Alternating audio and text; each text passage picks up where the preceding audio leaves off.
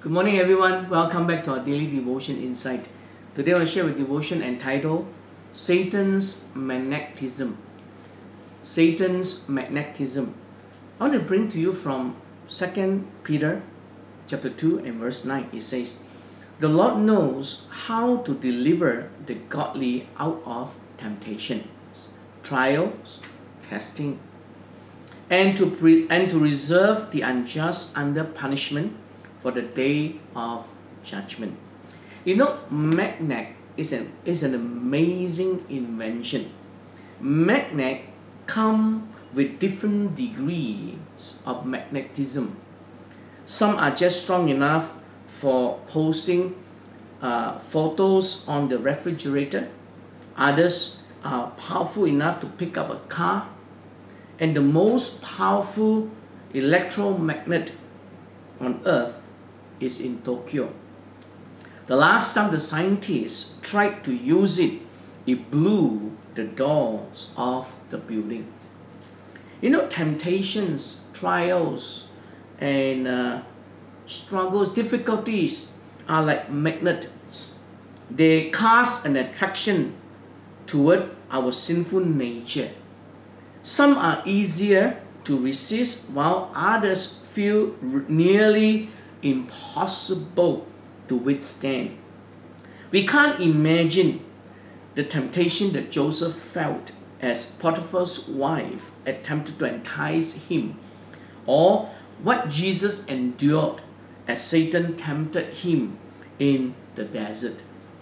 But the Bible says, no temptation has overtaken you except what is common to mankind, and God is faithful. He will not let you be tempted beyond what you can bear, but when you are tempted, He also provide a way out so that you can endure it. That's found in 1 Corinthians 10 and verse 13. When temptation grabs you in its force field, don't assume that you have to yield to it resist it in the power of the Spirit of God and with the weapons of Scripture. You know, temptation will come whether you not like it or not. Every day there will be temptation that will come along in your life. And you and I will face temptation every day. But the question is not the temptation.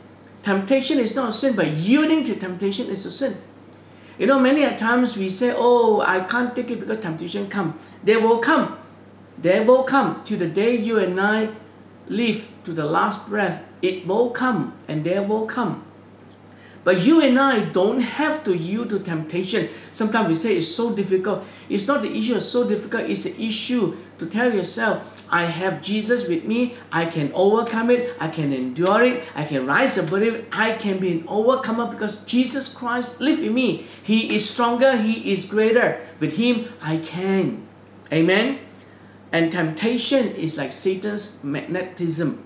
So take care, be careful, resist it in the power of Jesus, and use the scripture to speak against the devil when he tempts you. Amen. Russell Moore says, Temptation is so strong in our lives precisely because it's not about us.